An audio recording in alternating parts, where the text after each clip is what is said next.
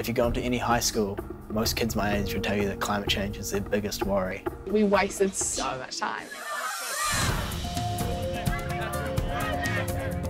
Hopelessness is useless! We're not going to let them stand by and just talk the talk.